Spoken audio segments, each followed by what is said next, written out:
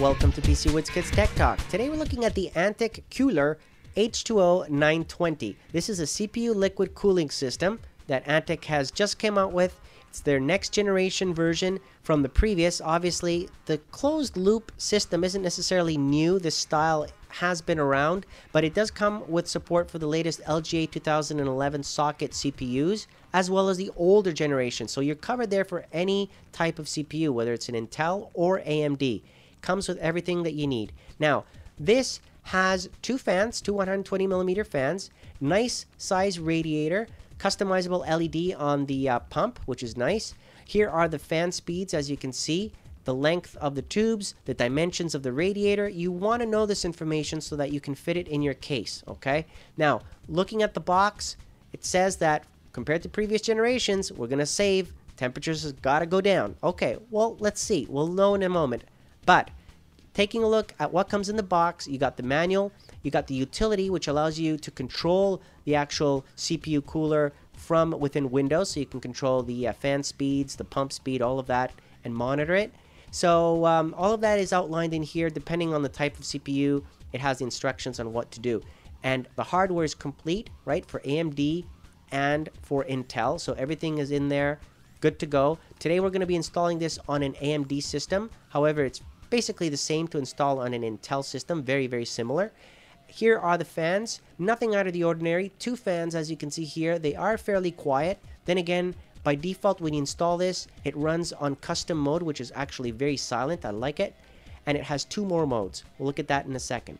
Now, I mentioned this was a closed loop system, obviously, so you've got this anti-corrosive liquid that's already in there. You don't have to change any liquid. You don't have to worry about it leaking or anything. It's a closed system. The um, liquid goes through one uh, of the tubes, comes out through the other, and uh, goes through the pump. Okay, there's the radiator. Okay, good size radiator so we can get lots of cooling. And of course, you want the air to be flowing out. Make sure you got the fans pointing the right way, okay, when you install it. Now, Looking at the uh, pump itself with the copper base, you can see it comes with thermal grease applied already, so you're good to go there as well. And um, there's a look at the um, connectors for the pump, okay, and the uh, fan header. So you gotta read the instructions, connecting that to your CPU fan header and your system fan headers appropriately, but uh, you don't have to purchase anything extra. It's all there and ready. Now there's a look again at the closed loop, okay, so the tubes going around in and around again, okay? Now, you will have to install the fans, and that's the first thing that I would do when I install this is attach that radiator, because that is the heaviest part, to the back of the case, okay? You can install it to the top of the case also, but uh, I usually install it on the back, okay, on the rear of the case. So, here it is. I attached it to the fan that came with the case already. You can use your existing fan or the ones that came with it, doesn't matter. Once you have that attached, the next thing would be uh, to add the other fan that it came with, obviously, so you can have that push-pull effect of air flowing through and out of the case. Make sure that your cover doesn't touch it, obviously. So again, look at the dimensions that I mentioned at the beginning, the specs, so that you know that it will fit in your case. There it is installed with the second fan now. Okay, as you can see. After that step, you want to read, okay, what brackets, what screws, what do I need to do with the back plate that comes behind the motherboard you need to obviously take things out. You need to put the ones that it comes with. And then you need to attach the screws, um, the clips, and everything accordingly. Okay. Once you've done that, and I've already gone ahead and added those clips to the bracket. Whoops. And um, attached the um, pump to it. You're good to go. There it is. There's that closed loop system. You can see there the cooler brand. You can see the nice Antec LED, which, like I mentioned, you can change the colors of that.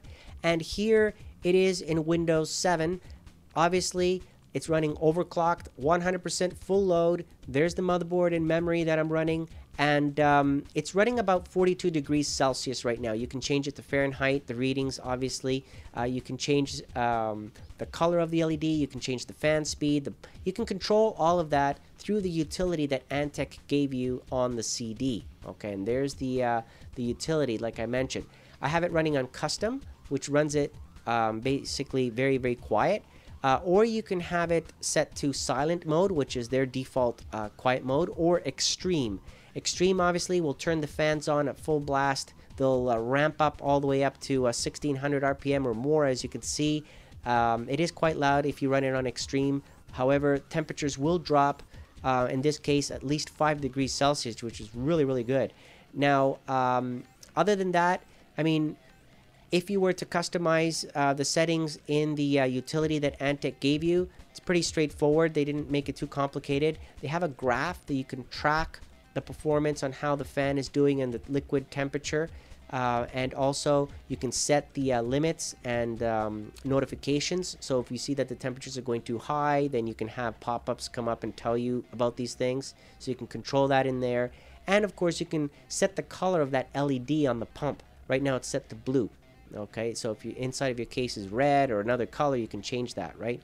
So that's pretty much it in a nutshell. Definitely uh, a nice little uh, closed loop uh, cooling system from Antec. Definitely recommend this if uh, you're looking for it. Nice and quiet. And uh, comment below, let me know what you think. And again, I'd like to thank Antec for providing it. And thank you for watching.